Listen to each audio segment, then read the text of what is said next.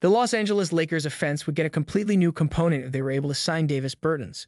You're talking about a player who, over the course of his career, averaged about five three pointers per game and shot nearly 40% from outside the three point line. Additionally, he's a stretch four who can shoot threes for you at a high level and play the power forward position. But how could he get to the Lakers when he's now with the OKC Thunder?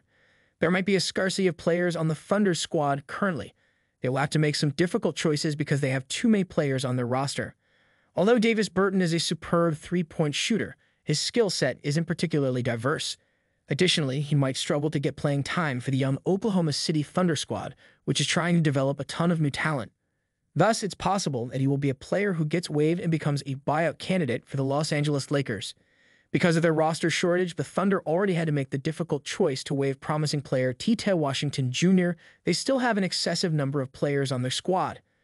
The Thunder are currently limited to 21 players on their roster, and they are able to carry up to 21 players during the offseason.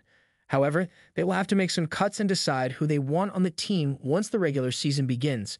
And in the event that Bertans proves to be one of the odd men out, I believe he may be a useful addition to this Lakers team, which could need both more size and better shooting.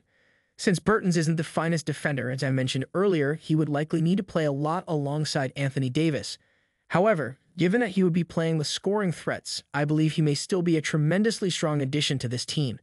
People such as LeBron James, Anthony Davis, and the other athletes. And even now, people like D'Angelo Russell and Austin Reaves can score points while also creating chances for their teammates because they are dangerous scorers. I believe the Bertans would be successful in a role similar to that. Although he's not the best defender, the Lakers are a solid defensive unit and based at least on their performance in the previous campaign. They could do better on the offensive end of the court. Therefore, having a shooter who can knock down shots could be quite important. Sure, you might give up something on defense, but you also increase your floor space when the ball is in your offensive end. We witnessed how problematic spacing could be for the Lakers, particularly prior to their decision to acquire D'Lo, Malik Beasley, and Jarred Vanderbilt.